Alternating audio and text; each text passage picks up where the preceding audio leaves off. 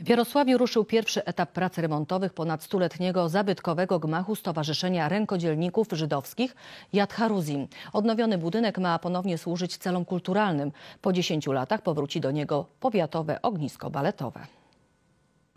Gmach został wybudowany w 1912 roku. Przed II wojną światową służył społeczności żydowskiej. Organizowano tu koncerty, bale, wesela i barmicwy. Po wojnie mieścił się tu Dom Kultury, a w 1950 roku na 62 lata budynek stał się siedzibą ogniska baletowego imienia Lidii Nartowskiej. Dla tancerzy i choreografów z Jarosławia to miejsce szczególne. Jesteśmy sentymentalnie związani z tamtym budynkiem. Ja tam tańczyłam, bo również uczęszczałam do ogniska baletowego wcześniej, moje dzieci. I tamten budynek, jak nawet mówi młodzież, ma taką duszę, taką swoją specyfikę. Yy, I bardzo cieszymy się, że w końcu yy, nie popadnie w ruinę.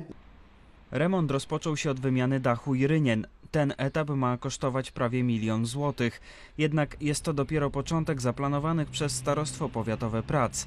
Całość inwestycji wyceniono na 5 milionów złotych. Przewidujemy aplikowanie o środki z funduszy norweskich, którymi, jak wiemy, dysponentem jest Ministerstwo Kultury i Dziedzictwa Narodowego. Mamy nadzieję na pozyskanie tych środków i kontynuowanie tych prac y, w celu doprowadzenia ogniska balotowego do takiego stanu, jaki nam się marzy. Były prowadzone rozmowy nie tylko z tancerzami, ale również z akustykami. Yy, Była poruszana sprawa sceny, yy, zamykania odpowiedniego, żeby to już było po prostu na XXI wiek zrobione.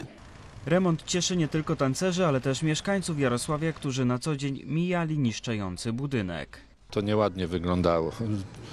Remont się już dawno należał. To jest bardzo dobry pomysł, że budynek będzie ten remontowany i będzie tutaj ośrodek kultury, w którym właśnie dzieci będą mogły dalej uczyć się tańca, tak jak było to do tej pory.